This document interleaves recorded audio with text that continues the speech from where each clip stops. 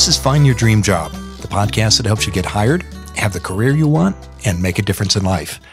I'm Mac Prichard. I'm also the founder of Mac's List. It's a job board in the Pacific Northwest that helps people find fulfilling careers. Every week, I interview a career expert about the tools you need to find the work you want. Today, I'm talking with Kirsten Wyatt. She's going to share an insider's perspective on how hiring in government works. Kirsten is the co founder and executive director of ELGL, the Engaging Local Government Leaders Network.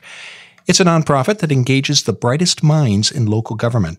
She joins us today in the Mac's List studio. Kirsten, let's get started. What do you need to do differently when you look for a government job? You need to be prepared for every experience to be very different.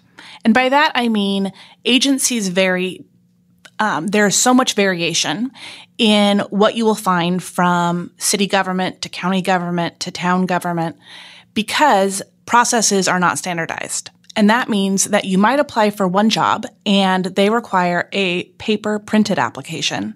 And you might apply for another job and they have a completely online um, candidate management system. And so when you're applying for these jobs, you're going to approach each of those very differently.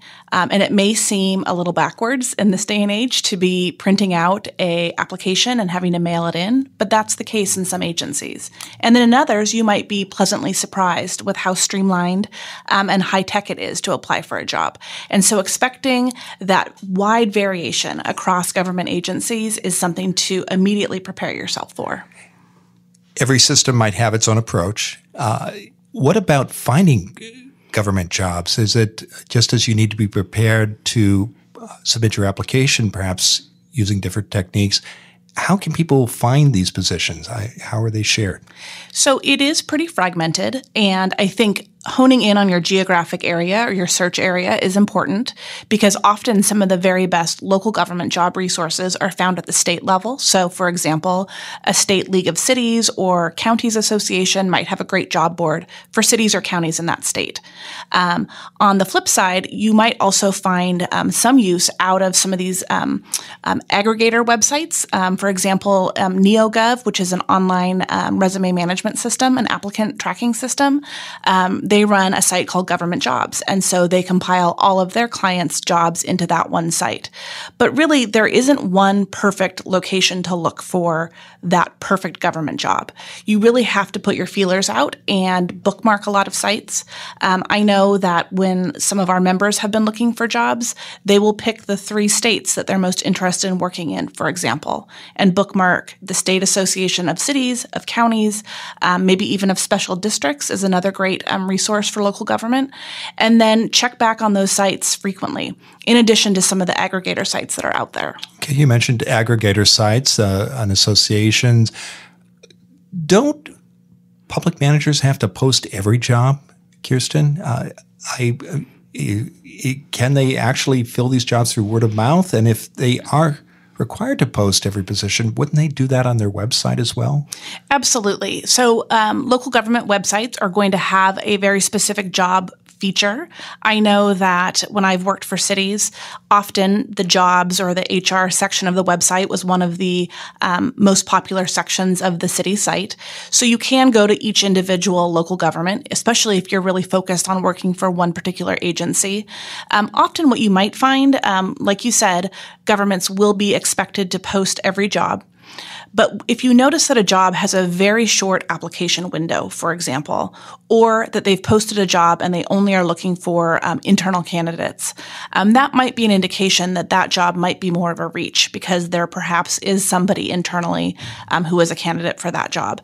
And so be prepared for that. It's it could be discouraging when you see the perfect job title and the perfect job description, but it is posted out of procedure because it is only available for internal candidates only so many jobs get filled by word of mouth in the private sector and the nonprofit world. In other words, they're never posted.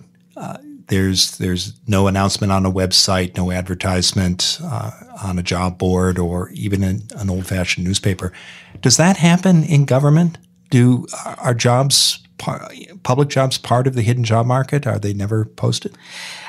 I don't think it's that they're never posted, but there definitely is the value and the benefit um, that you talk about on this podcast of that word of mouth job market and of building out your network because of that word of mouth effect because getting your name out there and getting to know people that work in the local government realm um, helps you be well informed when a job is coming open or will be open. You know, and and sometimes we joke it's kind of like when there's a coaching change in like the NFL or in college football where one coach leaves and then all of a sudden there's a big shuffle and it ripples across multiple teams. The same thing happens in government. We will see a manager leave and all of a sudden you start to think, okay, well, which assistant is going to take that job? And then that assistant job opens. And so having a network that gives you that inside scoop is helpful. Yes, you'll have to go to that website and go through the application. However, you will know to go to that website to start that application. Well, let's talk about networking. Sometimes uh, people tell me they have an experience where they reach out, particularly when a position is open to a hiring manager, and they say, I'd like to meet with you. And the manager will say, I can't. There's a set of rules I need to follow. And of course, every culture and uh, sector has its rules, but in government, these processes, in order to be as fair as possible to all applicants, are often uh, stricter. Uh, what? How do you see people network effectively with hiring managers, both when a job is open and uh, before a position becomes available? You're absolutely right. And that comes down to the equity factor. This idea that if the hiring manager is meeting with one candidate, they could potentially be getting um, some unfair information. And so often they'll just choose to not meet with anybody. And that's why building that um, your base network before that job even opens is so important. So when that hiring manager sees your name, they're not they're not having to have that pre interview meeting with you because they already know you. They've met you at a conference or through your writing or through your information sharing. Um, and that's why that network before you even apply is so critical. If a position is open and a hiring manager can't see you because the rules don't allow it, do you see candidates reach out to other people inside that agency successfully? And have conversations that can be helpful? Absolutely. And I feel like I spend a lot of time helping connect our members with other people in that agency to learn more about the culture. A great example um, we had a member who was interested in working for a city government, and I knew that he couldn't realistically reach out to the hiring the boss. Um, but there were at least five other members in our organization who had worked in that agency, and those were great connections for him. And so, you know, helping make those connections and and learning who had worked there previously and letting them get those perspectives, that's incredibly valuable. And I think too, you know, government hasn't started yet consistently using sites like Glassdoor, and so we really are relying on word of mouth and of network um, to learn more about jobs. You mentioned going to conferences, building relationships with managers before positions open up. What are your other networking tips, uh, Kirsten, for people who want to work in government or perhaps are already in the sector and want to move up? So, a term that I use almost too much. I think that some of our members, you know, want me to stop saying it so often is this concept of networking for ideas. That when we are trying to find new opportunities, it can't be all about me, me, me. It has to be about the knowledge that you're putting out into the world and that you're attracting others to you through that knowledge share. And one of the ways that we do that is through um, having people write for our organization about their experiences, about things they're passionate about. Um, so they are taking their knowledge and they're sharing it with other people.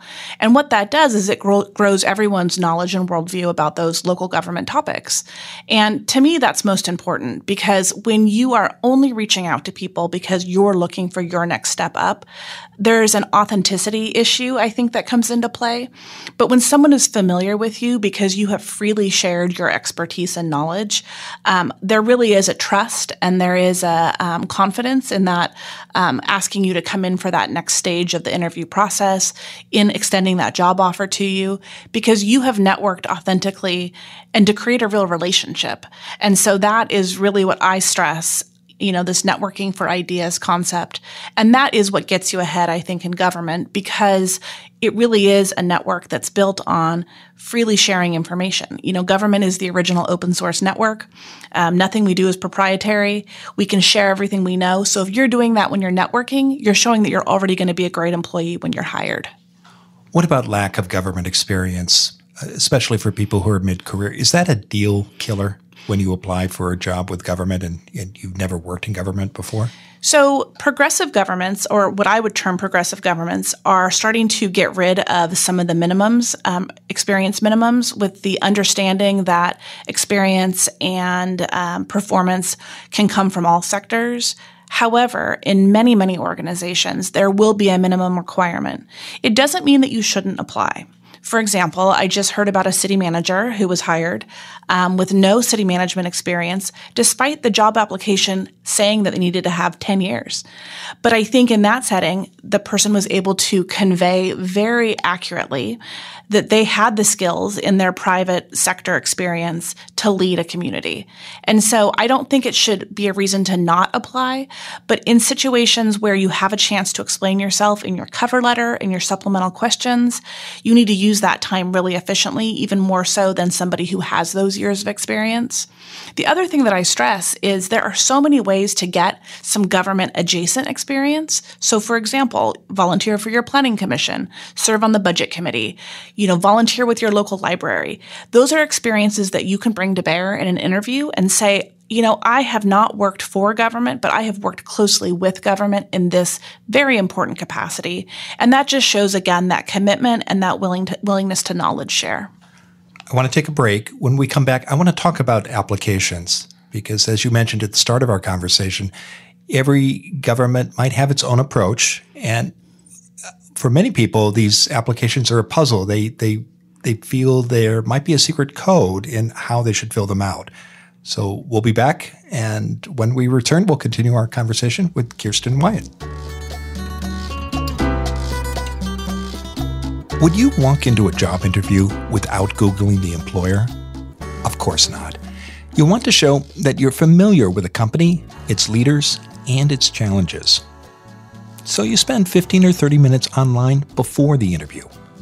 You look at the website, you read the LinkedIn profiles of the people on the interview panel, and you skim a newspaper profile of the company's CEO. Employers do the same thing with you. Are you happy with what they'll see?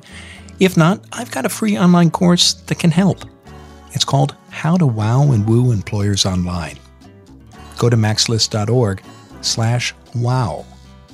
In three short video classes, you'll learn how to shine on the internet.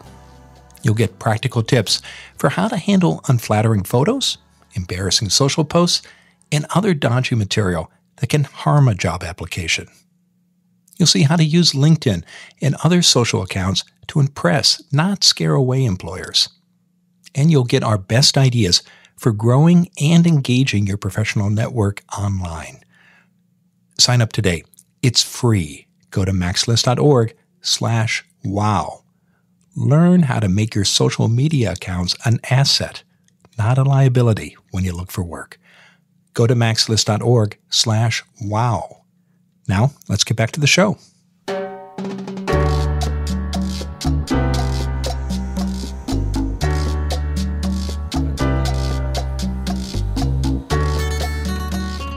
We're back in the Mac's List studio. I'm talking with Kirsten Wyatt. She's the executive director of Engaging Local Government Leaders.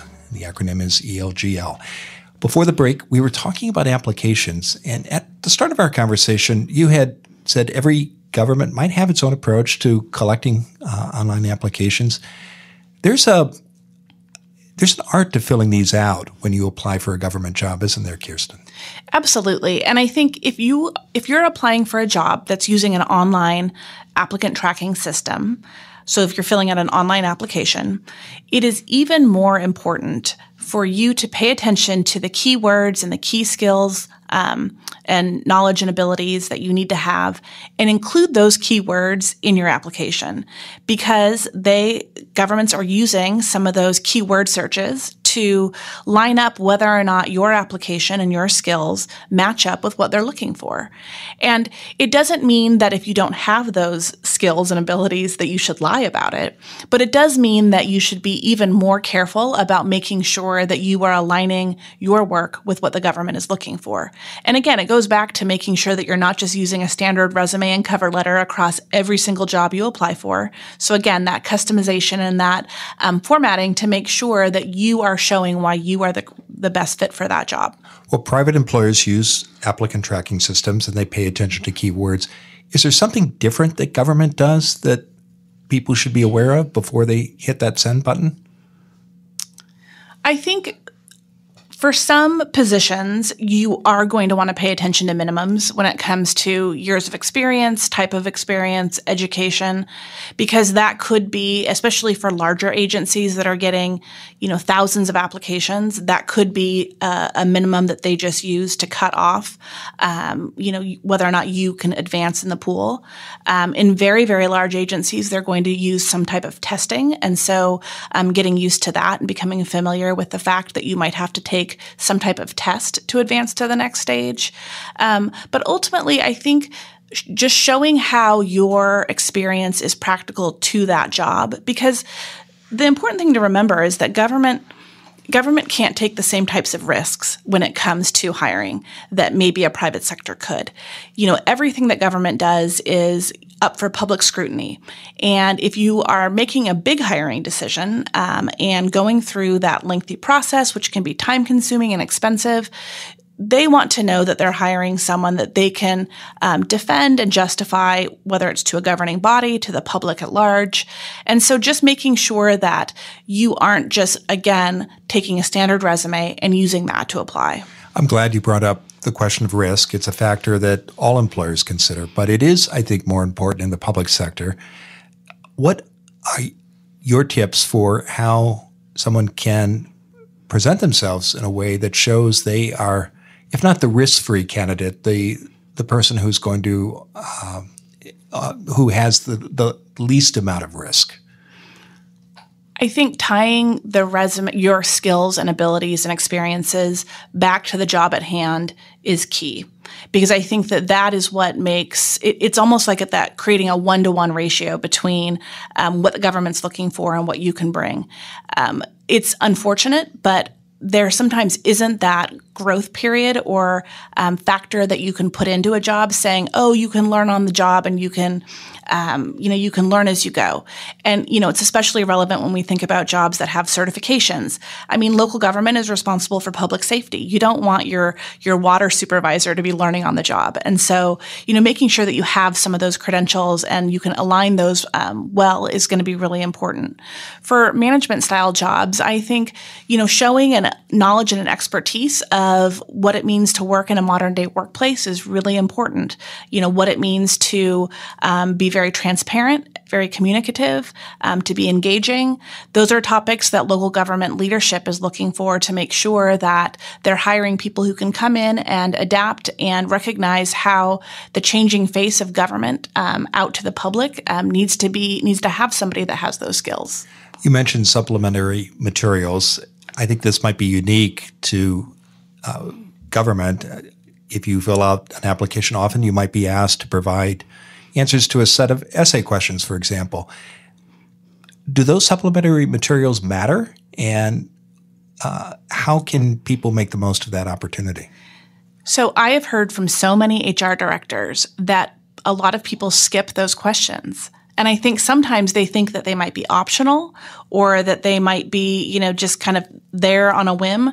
But supplemental questions in many cases are helping um, decide between candidates that on paper look very similar. And so the amount of time and thoughtfulness you put into those answers really matters. And it really is your first chance to show that you've done your homework, that you've learned about the community, that you know what issues they're facing. You can often even look at the questions and discern, okay, well, what are some of their priorities? If they're asking you questions about, for example, diversity, equity, and inclusion, um, it's it's worth your time to go online and to find out what is their plan, what has prompted this question, and so it really is your first chance to make a great impression. And for people who might feel constrained by the lack of space, say, in an application form, it's also an opportunity to address some of those points you were making earlier, both about your transferable skills and experiences and the perspective that you bring to the position, isn't it? Absolutely. And I think it's also a chance if you're making some sort of geographic move to explain that, to say, you know, if you were explaining why you're moving to Oregon and you're looking for a local government job from Texas, it's a chance for you to explain, you know, Oregon land use law is very different than what I've experienced in Texas. And, you know, this is a way that I have researched that. And here's how I'm answering that question based on that research. It really is a way to showcase that you've done that extra um, lift that someone might need to know if they're thinking, why might they apply for a job when they live so far away? You mentioned cover letters as well. Those matter in these application packets, don't they? They absolutely do. And again, it is a chance to showcase that you've learned about the community that you're interviewing in so many times uh, we've heard from our members that they have interviewed people who know nothing about the organization that they're applying with. They've just seen a job and they've put their application in. Often it's really easy to apply for jobs, especially when you're using an online system. And so using the cover letter to showcase why this particular city or county or district is most appealing to you over another one is a great thing to do in your cover letter. And it's also just a way to show that you've put in a little bit of extra time and effort to understand what that community is looking for. I want to get to interviews, particularly interview panels, but two quick questions about applications before we do that. What's the most common mistake you see people make on government applications? I think it's not tailoring your experience to what the job is looking for. And so if we were to just use a very basic example, let's say you have background in business or finance and you're applying for a government budget or finance job. Um, just putting down the work that you've done in accounts payable, accounts receivable is not going to fly when you have to apply that to a government position. You're going to want to go and look at what they're looking for and making sure that some of the experiences that you've had, albeit in the private sector, um, have some of the same language language and terminology that they're looking for in the public sector. So you have to show, you can't assume that the reader will interpret this for you. Well, and let's be frank. At times, there have been people who think, oh, I've worked in the private sector, so public sector is going to be easy. Um, people that maybe have looked down on public sector work because they've worked for a, you know, Fortune 500 company. And of course, they're going to want my expertise and they're going to want my experience.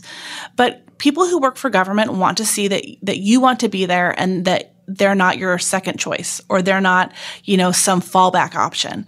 And so don't just fall back on an idea that maybe you've had some great experience in a different sector. Really take each job as it appears and, you know, put your heart into it, put your all into it. And don't just assume that um, a different sector's experience might benefit you if you're making that jump. Okay, quickly, what's your number one tip for filling out a government job application? Pay attention to keywords and make sure that those keywords appear in your experience. So if you have a job that's listed, make sure that the bullet points um, or the supplemental information about that job includes the keywords that you found in the job application or in the job posting. Let's move on to interview panels because that's a common technique when governments hire people, isn't it? Oh, absolutely. It is not uncommon, especially for higher level management positions, for you to interview with up to three panels comprised of four to five people. And so you are expected to go to each panel and to answer their questions. They might be a little bit different in scope or in style, um, and then maybe even end the day with the hiring manager, um, you know, talking with them specifically about your potential fit in that role. Um, so getting used to this idea of you sitting on one side of the table and five people sitting on the other um, is something to expect, especially if you're looking at that management level. And quickly, these panels they're very structured often. Uh, there's a set of questions. Every candidate is asked the same set of questions.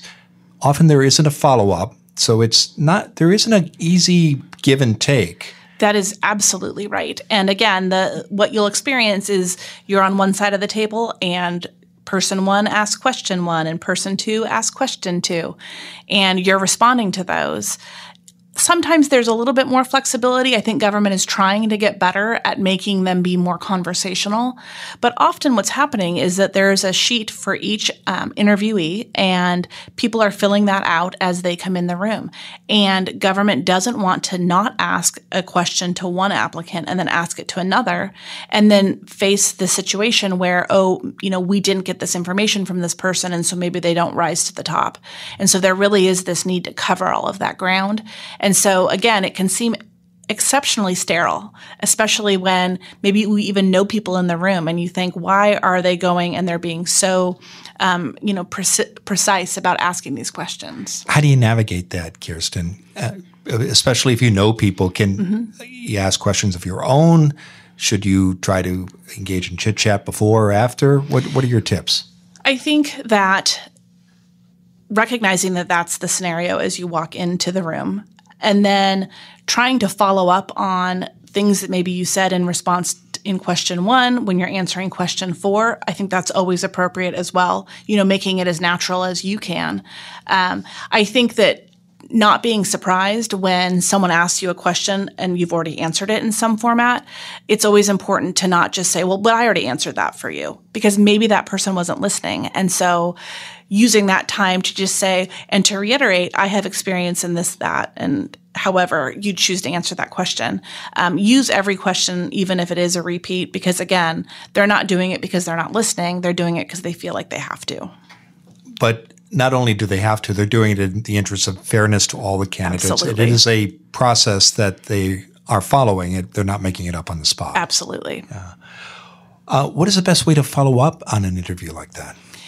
So I have experienced everything from the the moment after the interview concludes, the person is in their car writing thank you notes, and then they drop them off at the front desk and they're distributed to the 15 people that served on the panel.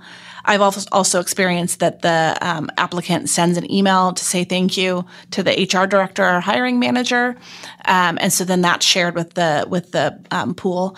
I don't think it's a horrible thing to follow up with the folks that you connected with or that you um, you even knew beforehand, and just saying thanks for the opportunity. Um, so it really varies, but as in all interview situations, I think a follow up just saying thank you for this opportunity is just the grace, gracious and kind thing to do. Tell us what's next for you, Kirsten. So I'm really excited because we are hosting our first hyper local conferencing series this fall. We're going to be in 25 cities across the country and also in London, England, um, hosting one hour learning sessions about local government topics. And we're calling it the ELGL Road Trip. And it is scheduled for the week of September 23rd. So we're probably coming to a city near a um, Find Your Dream Job podcast listener. And so you can learn more about that on our website. Um, and then we're also looking forward to bringing our first ever um, annual conference, uh, now that we've become a national organization, back to Portland. And so we'll be here in Portland for ELGL 20 on May 13th through 15th, 2020.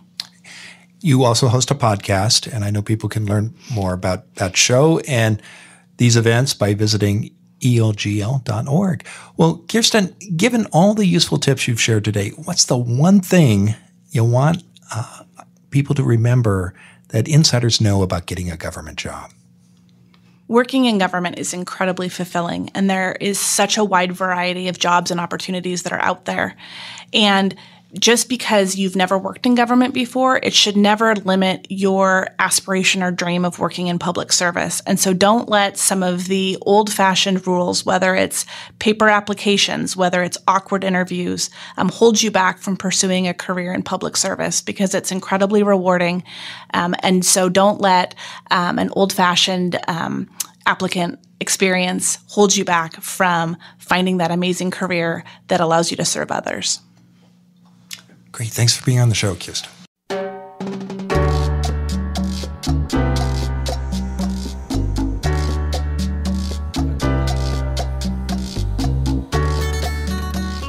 One of the most important points I think Kirsten made was about the importance of networking when you're looking for a government job. You might think because every position will be posted publicly and every application will be scored by a system that typically assign some kind of numerical score, that it's all about numbers and process. But people still matter too.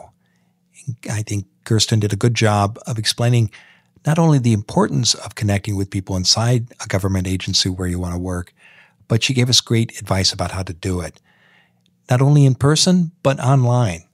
If you're looking for tips about how to do your networking better online, we've got a three part video course that can help. It's called How to Wow and Woo Employers Online. You can get it today. It's free. Just go to macslist.org slash wow.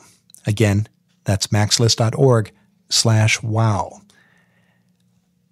Well, I hope you'll join us for next week. Our topic is a provocative one. Have you ever left a job interview feeling that you bombed? But maybe the problem was the employer, not you. Our guest, Farrell Bolding, will explain why this might be so and what you can do about it. Until next time, thanks for letting us help you find your dream job.